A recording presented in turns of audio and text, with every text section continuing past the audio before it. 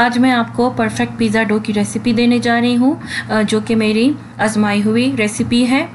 इसके लिए सबसे पहले हमें मैदा चाहिए आल पर्पस फ्लावर जिसे कहते हैं। चार कप हमें आल पर्पस फ्लावर चाहिए। याद रखें कि जो भी आप मेजर करें तो मेजरिंग कप के ज़रिए ही करें। इससे बहुत ही अच्छा रिज़ल्ट आता है बेकिंग में। इसके अलावा हमें खुश दूध का पाउडर चाहिए। ये हम डालेंगे इसमें एक चौथाई कप चीनी आप बारीक पिसी हुई भी ले सकती हैं या इस तरह करके बारीक चीनी भी ले सकती हैं। एक खाने का चम्मच हम इसमें ये डालेंगे।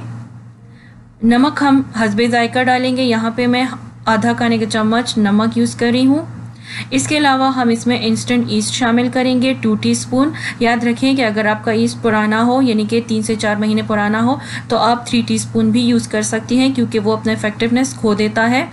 जितना ज़्यादा वो पढ़ा रहता है तो इतना ज़्यादा ही ये अपना इफेक्टिवनेस खो देता है। आप में से बहुत से लोग मुझसे पूछ रहे थे कि इंस्टेंट ईस्ट क्या होता है तो आज मैं आपको इसका पैकेट दिखा रही हूँ। ये आप देख सकती हैं, इसके ऊपर लिखा हुआ है इंस्टेंट ईस्ट तो ये मैं इसमें यूज़ करती हूँ। अब हम ड्राई इंग्रेडिएंट्स को अच्छे से मिक्स करेंगे। और इसके बाद हम इसमें तेल डालेंगे।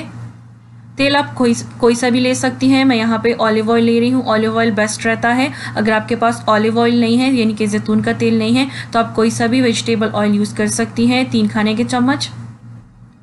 तेल को भी हम इसी में मिक्स कर देंगे। ये अच्छे से इसको मिक्स करने के बाद हम इसको गूंदेंगे गूंदने के लिए हमें दो कप पानी चाहिए। इस तरह करके मेजर करके आप दो कप पानी ले लें, जिसमें जिस कप में आपने फ्लोर को मेजर किया था, वही कप आप पानी के लिए भी ले लें। और याद रखें कि पानी बहुत ज़्यादा गर्म नहीं होना चाहिए। पानी इस तरह होना चाहिए कि आप उसके बीच में अपनी उंगली डुबो सकती हैं और आपको जलन महसूस ना हो रही हो। तो इस तरह करके आपने पानी लेना है। अगर आप बहुत ज़्यादा गर्म पानी लेंगी तो जो ईस्ट होगा वो कड़वा हो जाएगा। उसका टेस्ट बिल्कुल भी अच्छा नहीं आएगा। यहाँ पर एग्जैक्ट मैं दो कप पानी यूज़ करूँगी इसके नीट करने में। दो कप पानी डालते हुए हम इसे मस, मसलते जाएँगे नीट करते जाएँगे। मुसलसल इसे गूंदना है। पाँच से छः मिनट तक गून लेने के बाद हम इसे ढक कर रखेंगे। ऊपर आप पानी लगा दें और इसे ढककर तकरीबन तीस मिनट के लिए रख दें।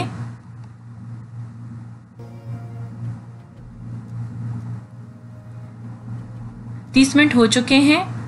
अब हम इसे एक सरफेस पर, यानी इस तरह करके किसी सरफेस पर हम खुश्क फ्लोर यानी कि खुश्क मैदा छिड़केंगे और इसके ऊपर डो को रखेंगे।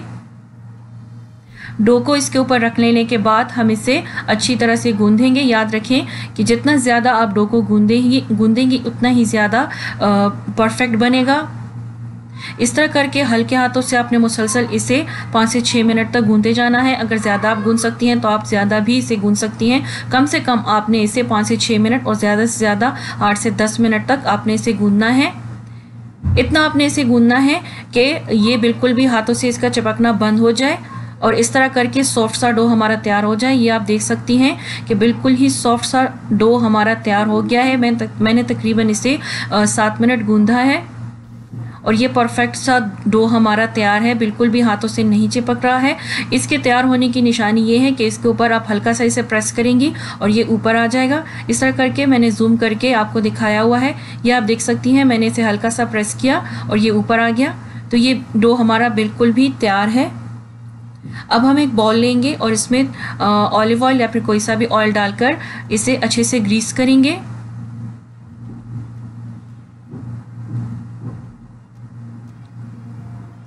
ग्रीस कर लेने के बाद हम इसमें डो को रखेंगे। इस तरह करके हम डो को रखेंगे और इसके ऊपर भी हम थोड़ा सा ऑयल लगा लेंगे। थोड़ा सा ऑयल यानी कि तेल हमने इसके ऊपर लगा लिया है। और इसके बाद हम इसे कवर करके यानी ढक कर रखेंगे किसी गर्म जगह पर। आप इसे बंद किए हुए ओवन में भी रख सकती हैं और आप इसे ऐसे भी रख सकती हैं, जगह गर्म होनी चाहिए।